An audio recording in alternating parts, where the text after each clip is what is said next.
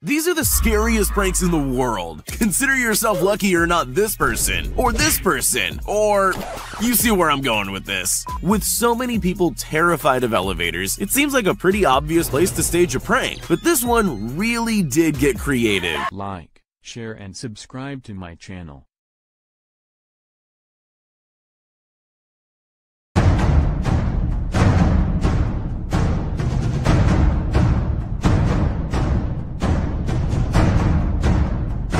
Really did get creative. Instead of doing something obvious like pretending the elevator was stuck, this Japanese show got a little creative. The producer escorts their victim to the elevator, but the second they step inside, this happens. That's definitely something you can never prepare for, and why would you?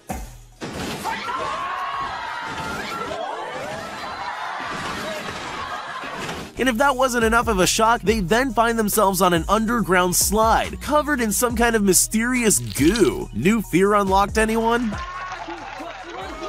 These tourists in China probably thought that walking on this glass bridge was scary enough on its own. They clearly had no idea what was in store for them. In hindsight, I'm sure you know it's a prank, but I can't even imagine what I'd be thinking if that were happening to me. Take a look at this guy who was just seconds away from losing his iPad.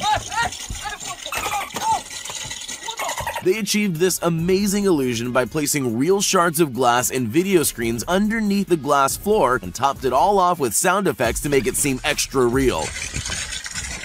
Funny or cruel? I'll leave you to be the judge of that. Picture this, you're sitting in an empty office, just waiting around for something to happen. Then suddenly the entire desk slides open. What do you do?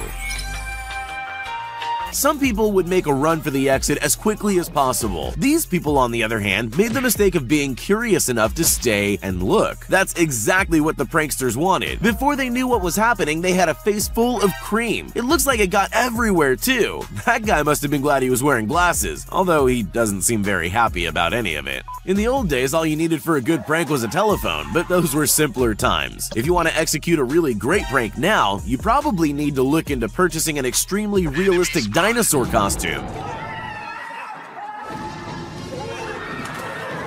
Sure, that's going to be pretty expensive, but there's one big benefit to a moving dinosaur. It seems to terrify just about everyone. Even though dinosaurs have been extinct for millions of years, there's just something unsettling about a prehistoric beast chasing us down a corridor. I'm sure these people would agree. Maybe cornering yourself on the ground isn't the smartest move either. There's always more than one way to do something, but the choice usually comes down to what you're really trying to achieve. For example, if you wanted to terrify someone in an elevator, you could just have the whole floor open up and eat them, but that wouldn't sell very many TVs. What LG wanted to do instead was make it look like the floor of the elevator was falling away, you know, to prove how good their TVs are.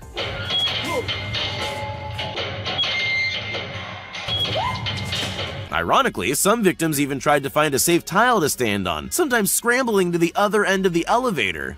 I'm just glad I didn't need to experience this for myself. If you've ever watched The Ring, then you'll know just how terrifying it is. The movie creators put together the perfect set for a scary prank. Just when their customers least expected it, the screen pulled up without them noticing, leaving a gap for the actress to crawl out and scare the life out of the unsuspecting victims. Oh my god, Adriana. Honestly, I think those people handled that quite well. Well, most of them anyway. Imagine you're a technology company. What's the best way to prove that your TVs have the highest quality screens on the market? LG's headquarters in Chile came up with an ingenious joke. They gathered people for a job interview Sí. Filled the office with hidden cameras, and set up one of their TVs so it looked like a window. Job interviews are stressful enough. They're far worse when a meteor suddenly appears.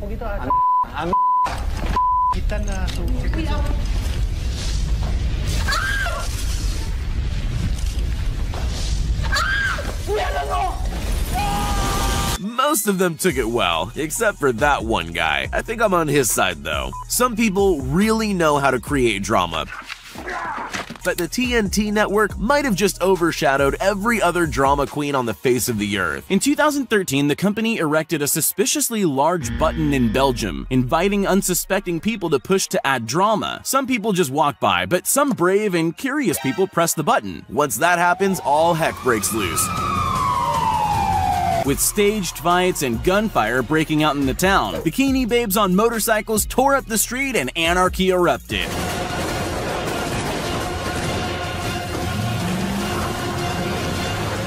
The best part of the video is the reactions of those who set it off. Participants look around stunned as the action unfolds, trying to come to terms with the fact they caused it all to happen. This prank show wanted to see what would happen if they glued people to the floor. Imagine, there you are just minding your own business. One minute you're getting along with your day, the next you're stuck to the ground. But there's more than one way to achieve a sticky floor prank. Plan A is to trap ordinary people on the street as they go about their day. Then there's the more extreme method. Place a tray of sticky goo behind a closed door and just wait for the next victim. The highlight's definitely their previous victim sitting on the sofa covered in goo. He didn't even try to warn him. Here's something you almost never think about. Drinking fountains. Sure, they're a handy thing to have around, but they're not exactly going to take up a lot of space in your thoughts, at least not until something like this happens to you. This prank show set up a drinking fountain with a twist to catch unsuspecting people by surprise, and it definitely worked. I don't know if you've ever had water sprayed up your nose at high pressure, but it's definitely not pleasant. I wouldn't go near that fountain again, but these people are clearly a little braver than me. Most of them go in for another try. It doesn't seem worth it, but you've got to admire their dedication. The Indiana Jones films are iconic. They're a part of our culture, but even in iconic films like that, there are moments that stand out and take a life of their own. You probably already know where I'm going with this. This girl got to reenact that iconic moment, whether she wanted to or not. Honestly, it really does look genuinely frightening, especially since that's the last thing you expect when walking down a corridor. At least they were kind enough to give her something soft to land on. Even in a world of clever pranks, some are just a little more intelligent than others. The creators of the Invisible Man movie movie obviously know how to scare people, but it's quite different to execute that in real life. As part of their press, they decided they were going to give journalists a taste of what it would be like to really encounter the Invisible Man. Let's just say it wasn't the kind of interview they were expecting. Man, oh my god. They rigged the interview room to make it look like someone invisible was making things move. The grand finale was a clever reveal of the invisible man standing up behind the curtain. The people who stayed in the room deserve a medal.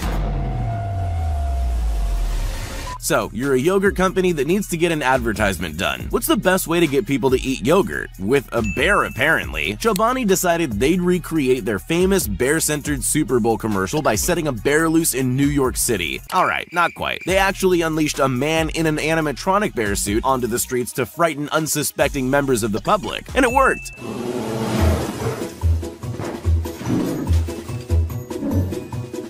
The bear wreaked a bit of havoc. The only people that seemed more confused than scared were passing children. I guess they just don't understand perfectly good advertising.